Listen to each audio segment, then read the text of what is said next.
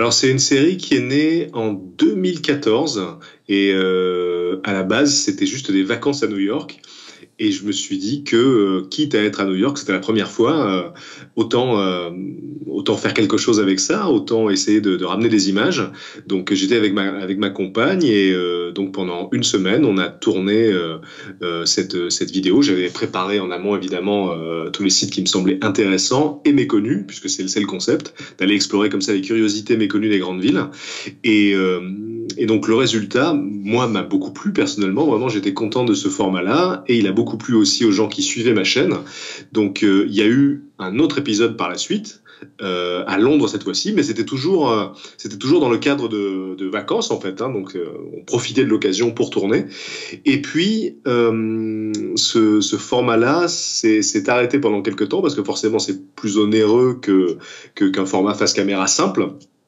Donc, euh, je me suis demandé comment est-ce qu'on pourrait essayer euh, de, de, de, créer une saison complète de ce format-là. Et euh, comme je recevais beaucoup de messages des gens qui me demandaient s'il y aurait d'autres épisodes, donc avec l'équipe avec laquelle je, je, je travaille, euh, on s'est dit que le financement participatif serait une bonne solution, puisque comme les gens voulaient voir ce programme, que nous on voulait le faire, mais que bon voilà, on n'avait pas forcément les moyens pour le réaliser, on a proposé aux gens de devenir euh, voilà les coproducteurs de ce, de ce programme-là. Et euh, donc euh, en 2018, on a tourné euh, sept épisodes, donc vraiment euh, ça, ça, a été une, une, année très très riche. Hein. On a tourné euh, Prague, Rome, Berlin, Tokyo, Paris, et, et, voilà comment ce, ce, format qui à la base avait juste été filmé en profitant de vacances à New York est devenu une, une saison complète de neuf épisodes maintenant. C'est sans doute la partie qui prend le, plus de temps et, euh, et c'est peut-être la partie la plus enthousiasmante parce que vraiment c'est comme une chasse au trésor. Euh, donc euh, je plonge dans toutes les sources que je peux trouver, que ce soit des livres, que ce soit des sites internet, que ce soit des documentaires sur les sur les villes et je note, je note tous les, tous les lieux ou toutes les curiosités ou toutes les, les, histoires qui me semblent, qui me semblent intéressantes et surtout qui me semblent, qui me semblent méconnues, quoi, qui me semblent sortir des sentiers battus. Et, euh, et ensuite, euh, je fais un tri. Je garde en général une, quin une quinzaine de, de, sites par, par vidéo.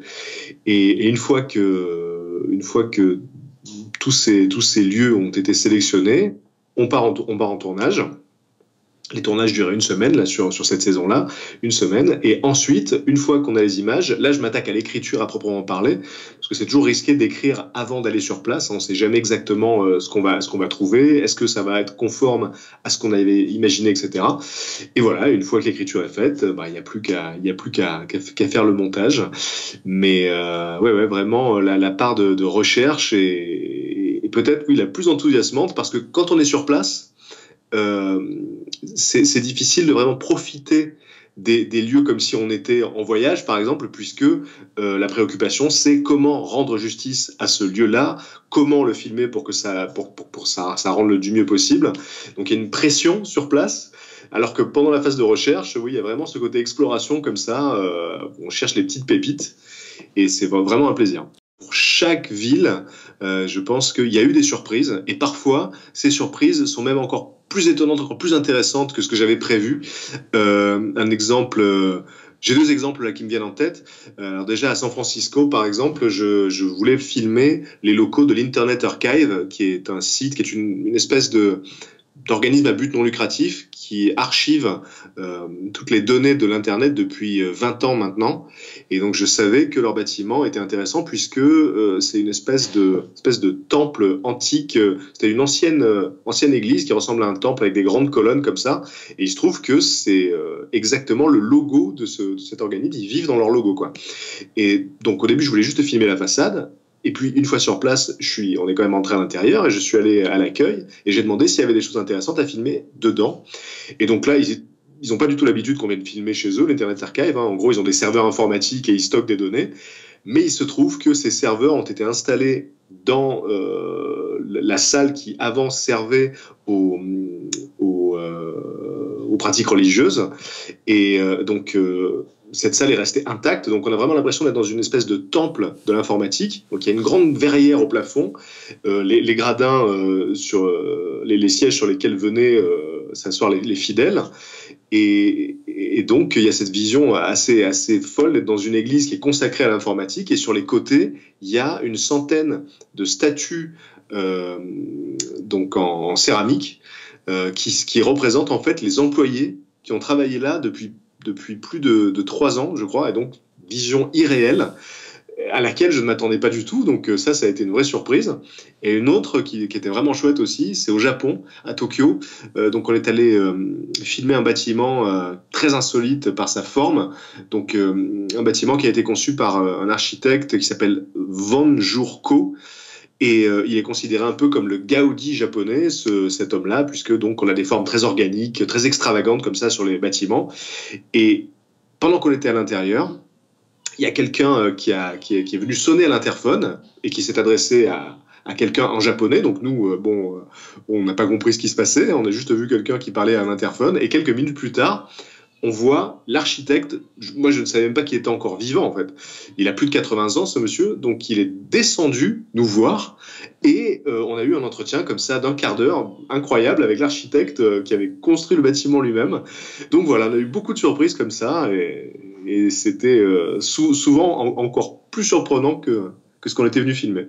C'est quelque chose que j'ai toujours eu, ça, ce, ce goût euh, des choses étonnantes, ce goût des, curiosités. J'aime bien les, pas de côté et euh, je, pense que tout le monde aime être étonné en voyage. On aime aller voir voilà des choses étonnantes, des choses, euh, des choses merveilleuses, des, des, des, choses insolites on a tous ce goût-là, sauf que moi, je m'y suis vraiment spécialisé. C'est vrai que euh, c'est ce que c'est ce que je préfère en général euh, quand euh, quand je suis dans une ville en déplacement, même pour le travail ou quoi. Je jette toujours un œil pour voir s'il n'y aurait pas une petite curiosité à voir, quelque chose, une statue, un lieu dans lequel un fait historique méconnu se serait déroulé.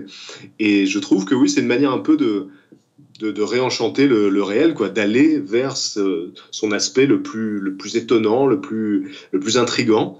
Et bon, manifestement, c'est quelque chose que, qui, plaît aussi euh, aux gens. Donc j'en suis content. Chaque ville vraiment a évidemment son charme, sa particularité. J'ai vraiment aimé toutes les villes qu'on a pu euh, qu'on a pu visiter pour pour pour la série euh, d'une manière différente. le Japon, Tokyo, bah, c'est une ville qui est extraordinaire en soi. Moi, j'étais jamais allé au Japon et euh, cette ville est, incroyable. On a vraiment l'impression d'être à la fois dans le futur et dans le passé. Donc, euh, c'est très très surprenant.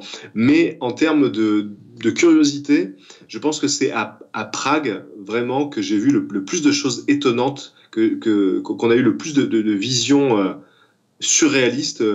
parce que déjà, c'est une ville qui qui est assez lié au surréalisme. Hein. Il y a un, sculpteur qui s'appelle David Cherny qui a disséminé comme ça des sculptures à travers toute la ville, et c'est souvent des visions surréalistes. Euh, par exemple, voilà, il y a la tour de la télévision euh, de, Ziskov à Prague, qui le plus grand bâtiment de la ville, et il y a des bébés géants en métal qui escaladent la tour. C'est ce genre de vision qu'on voit un peu partout là-bas, et surtout. Euh, on est allé filmer quelque chose que je voulais voir depuis des années.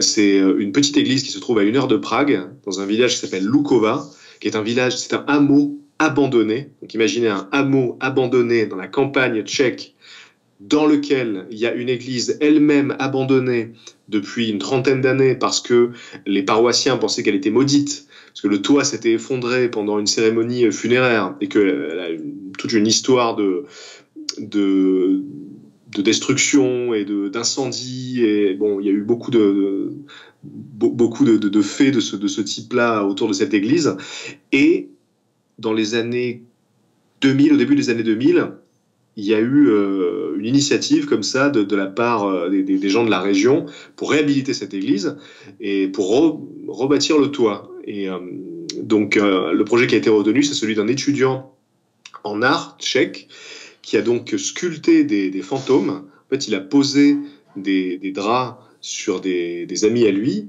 Ensuite, il a, mis euh, du, plâtre, du gypse par, par-dessus. Et donc, les draps ont pris la forme, comme ça, se sont solidifiés autour des, autour des modèles, ont pris la forme du, coup des personnes. Et ensuite, il a placé ces, fantômes, entre guillemets, dans l'église. Il y en a une trentaine. Et depuis, euh, depuis une dizaine d'années, je dirais, ces fantômes prennent la poussière dans cette église abandonnée. Et la vision est incroyable. Donc euh, j'avais vu beaucoup de photos et je m'étais juré qu'un jour je verrais cette église, ces fantômes pour de vrai. Quand on était sur place, c'était un moment vraiment, euh, vraiment hallucinant et euh, je suis vraiment content qu'on ait pu prendre ces images. Rien que pour ça, Prague, je pense, est la ville la plus étonnante, mais évidemment, elles ont toute leur identité, elles ont toutes quelque chose à part. Dans le livre, on retrouve tous les sites qu'on a pu voir dans la série, avec des informations mises à jour, mais en plus, on a évidemment du contenu inédit, du contenu exclusif au livre. Hein. Pour chaque ville, euh, il y a de, nouveaux sites. Alors parfois, c'est des, c'est des œuvres d'art ou des, lieux qui n'existaient pas à l'époque où, on a tourné.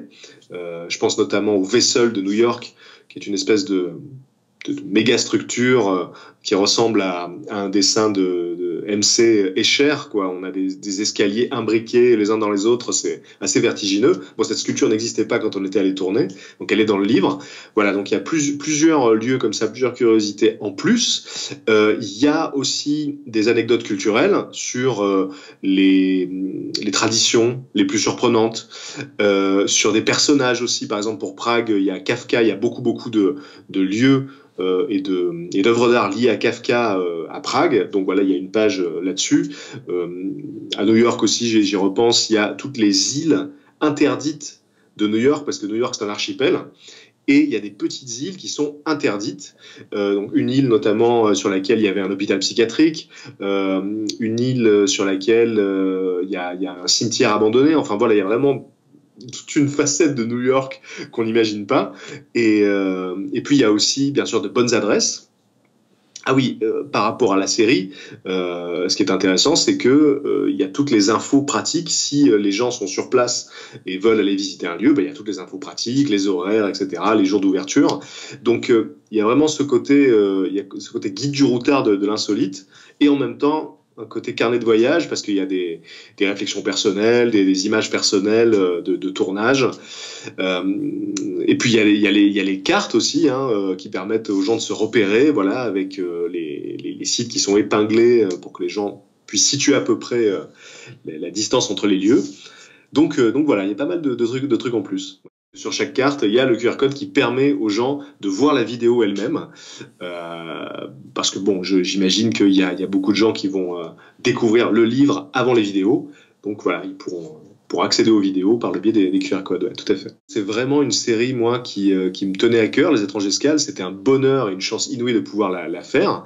Et d'ailleurs, je pense que c'est pas fini. J'aimerais bien pouvoir continuer à travers la France cette fois-ci. Et donc, ce livre, vraiment, euh, réunit et, cristallise euh, euh, tout ce qu'on a essayé d'injecter dans ces épisodes-là, et j'en suis vraiment très très fier. Quoi. Je, euh, je suis vraiment content qu'on ait réussi à faire un livre qui soit à la fois un carnet de voyage, à la fois un beau livre qui permet de voyager sans quitter son canapé. Et donc, en ce moment, c'est particulièrement approprié, hein, ça. Donc, donc voilà, je suis vraiment très très fier, et, et j'espère que le livre plaira aux gens, bien sûr, qu'ils connaissent les vidéos ou non.